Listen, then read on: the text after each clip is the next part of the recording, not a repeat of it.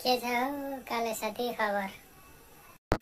खबर त के हुनु नि गरे भाइ बेहाल छ मेरो ल हेर अनि के भयो नि त.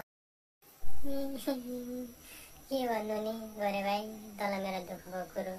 पूजा पनि छेउछेउ आउन थाल्यो आफू त मर्ने भइयो त त सानै छस्. त्यहाँ त टाइम पनि भएको छैन मलाई खाने भए मजाले पका मेरो पनि साह्रै बाँचिन्छ जस्तो छैन बुझिस्। डक्टरले कहाँ पनि सबै पेसेन्टलाई डायबिटिस पेसेन्टलाई लगाइदिएको रहेछ। कलिला कलिला खसी खानु भनेर अब जसको घरको म हो त्यसमा तिन चारवटा डायबिटिस पेसेन्ट छन्।